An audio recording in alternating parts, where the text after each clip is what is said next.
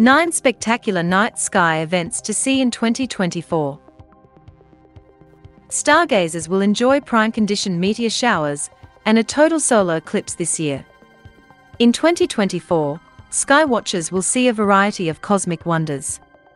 A total eclipse and stunning meteor showers will captivate hundreds of millions, and as the sun nears solar maximum, brilliant auroras will become increasingly regular.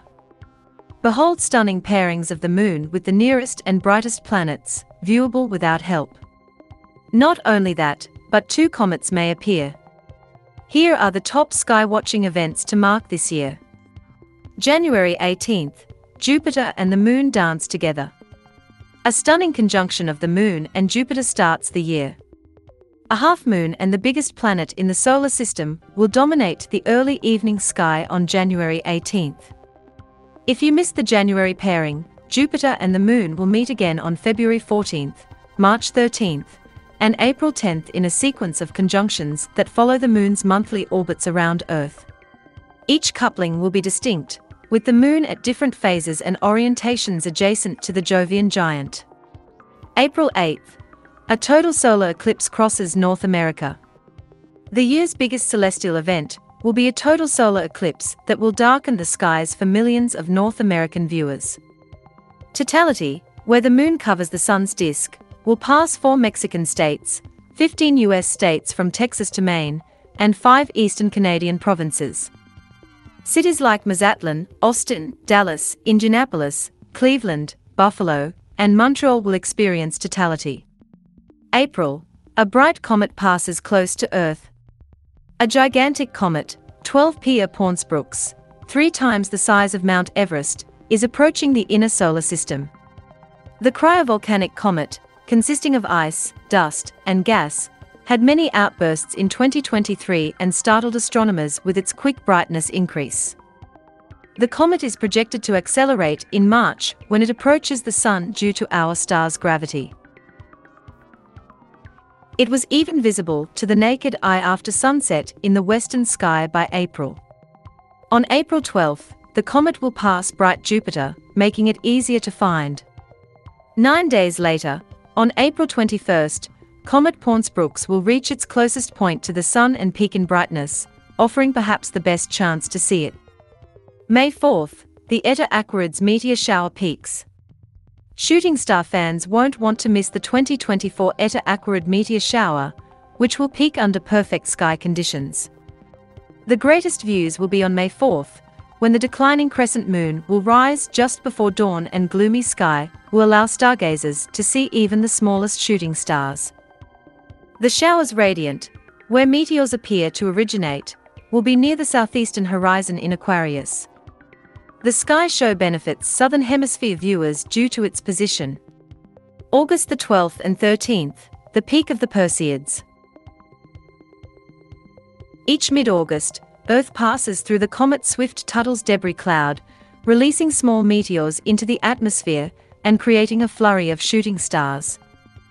In an average year, the Perseid meteor shower produces 60 shooting stars each hour. The Perseids will peak under a dark, moonless sky this year, making it a good year. The waxing gibbous moon sets about midnight, making nighttime and pre-dawn viewing superb. This shower is best in the northern hemisphere because the meteors appear to originate from Perseus, which is close to the horizon in deep southern latitudes.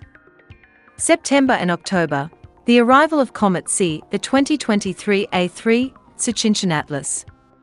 Since February 2023, comet hunters have been watching A3 Atlas, which is projected to be spectacular late in 2024. By early summer, tiny backyard telescopes can see it in the evening sky. The comet will approach the Sun and Earth for the first time in 80,000 years in September. It may brighten and appear low in the eastern sky before daybreak in southern latitudes, observable through binoculars or the naked eye. September 17th, the ringed planet joins the Moon. Starting September 17th, the Moon and Saturn will align monthly, creating a stunning sequence of cosmic alignments in the last four months. Unaided eyes will see the magnificent spectacle on October the 14th and 15th, November 11th, and December 8th. Soon after sunset, the two bright worlds will be visible, the gap between them will be perfect for lower magnification binoculars, but they will be too far apart for a telescope. The enormous planet's yellow tinge and the moon's silvery shine will also make the couple visually striking.